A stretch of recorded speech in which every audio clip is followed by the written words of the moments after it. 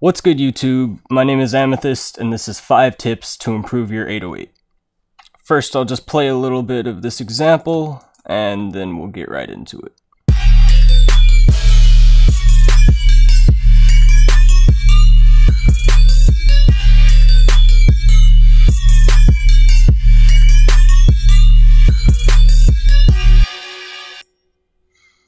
As you can hear, it's really boring and yeah, it just doesn't sound very good, but we're here to improve that.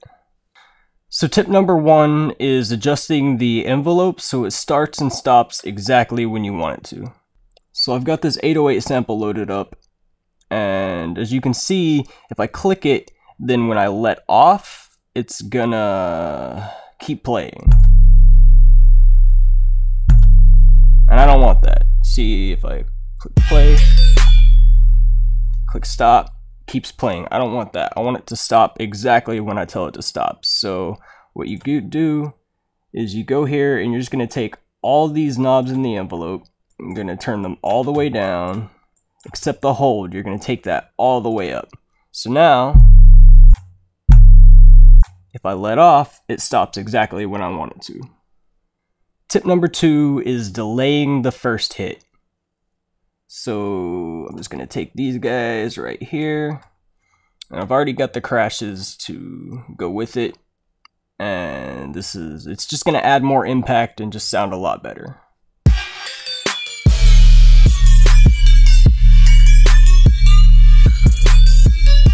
Tip number three is distortion. And there's a lot of distortions you can use. It just depends on your preference. But my personal favorite is saturation knob. I've already got it loaded up here, so I'll activate it.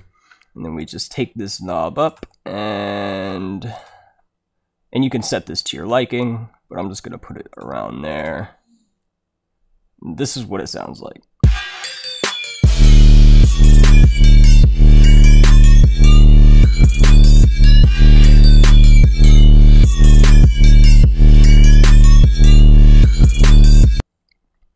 So tip number four is pitch slides. I went ahead and I've edited this edited this pattern to have some slides.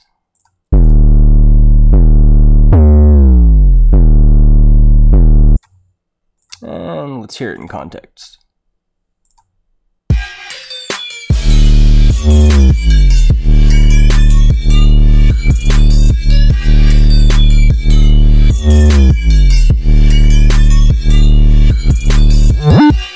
Now the final tip, tip number five, is automating the distortion. As you can see in this other example, it's pretty much the same thing. Um, I've already taken the liberty of automating just this knob, one saturation knob, and this is what it sounds like.